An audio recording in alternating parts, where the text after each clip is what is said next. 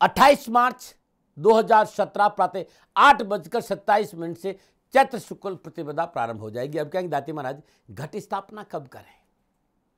घट स्थापना करना, खेतरी बीजना, अखंड जोत जलाना के लिए प्रातःकाल वृषभ लगन, यानी आठ बजकर बयालीस मिनट से लेकर साढ़े दस बजे का जो समय है, वो बड़ा ठीक समय है।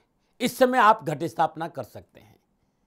आप कहेंगे दाती महाराज, सर्वोत्तम घट स्थापना का मुहूर्त क्या है? तो सर्वोत्तम घट स्थापना का मुहूर्त है अभिजीत मुहूर्त। यानी बारह बजकर नौ मिनट से लेकर बारह सत्तावन का जो समय है, बारह बजकर नौ मिनट से बारह बारह बजकर नौ मिनट मिनट, बारह सेकंड सत्तावन पल, ये है।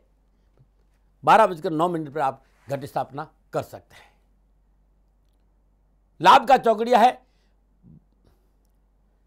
बारह बजकर नौ मिनट से लेकर बारह बजकर छब्बीस मिनट तक। और अमृतिका चौकड़िया है बारह सत्ताईस से लेकर बारह सत्तावन तक। ये अद्भुत समय है। इसीलिए सर्वोत्तम घट स्थापना का समय है बारह बजकर नौ मिनट बारह सेकेंड पर। दिल्ली वाले घट स्थापना कब करें? तो बारह बजकर दो मिनट से लेकर बारह बजकर पचास मिनट के बीच जो दिल्ली वाले घट स्थापना करते उनके लिए बड़ा अच्छा रहेगा। मुंबई वाले घट स्थापना बारह बजकर उन्नीस मिनट से लेकर एक बजकर आठ मिनट तक कर सकते दोपहर। कोलकाता वाले घट स्थापना ग्यारह बजकर सत्रह मिनट से लेकर बारह बजकर छः मिनट के बीच में करेंगे तो बड़ा अच्छा रहेगा।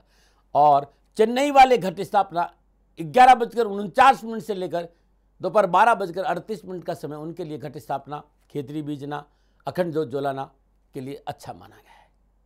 जम्मू जम्मू वाले बारह बजकर ग्यारह मिनट से लेकर एक बजे, दोपहर एक बजे के बीच में घट स्थापना करेंगे तो उनके लिए अच्छा रहेगा। और शिमला में घट स्थापना बारह बजकर बारह मिनट से लेकर एक बजकर एक मिनट के बीच में घट स्थापना होती तो उनके लिए बड़ा अच्छा रहेगा। चंडीगढ़ में चंडीगढ़ में घट स्थापना का समय है बारह बजकर तीन मिनट से लेकर बारह बजकर बावन मिनट तक। और जयपुर में घट स्थापना का जो समय है वो बारह बजकर सात मिनट से लेकर बारह बजकर छप्पन मिनट तक का है। गांधीनगर बारह बजकर बीस मिनट से लेकर एक बजकर आठ मिनट के बीच में गांधीनगर में यदि घट स्थापना करेंगे तो बड़ा अच्छा रहेगा। और लखनऊ की घट स्थापना ग्यारह सैंतालीस से लेकर बारह पैंतीस तक का समय है। भोपाल में घट स्थापना का समय रहेगा बारह बजकर एक मिनट से लेकर बारह बजकर उनचास मिनट तक।